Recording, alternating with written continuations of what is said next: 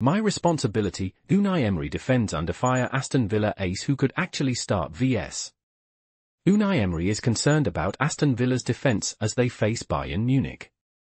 Despite their strong form, Villa's defence has struggled, with Diego Carlos being a key issue. Emery defended Carlos, acknowledging mistakes but emphasizing correction through practice.